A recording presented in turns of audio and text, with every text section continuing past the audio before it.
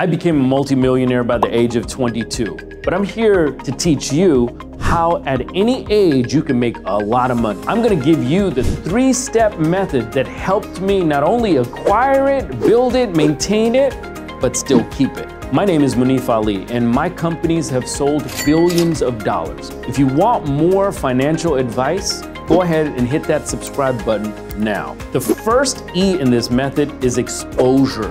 Expose yourself to as many people, as much variety as you possibly can. Read as many books as you possibly can.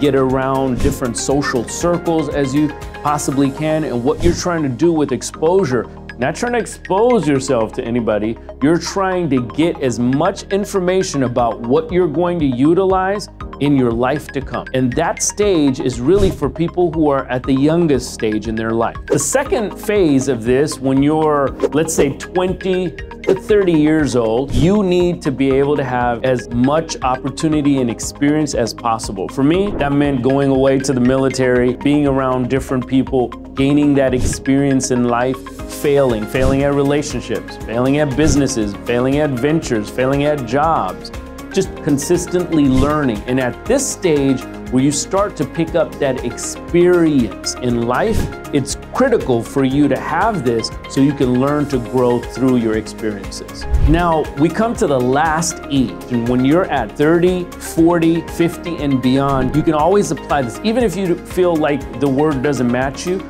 you've got expertise. Now you start to get paid based on your results, not on an hourly rate or anything. You promise results because guess what? You've been exposed to what and who you are.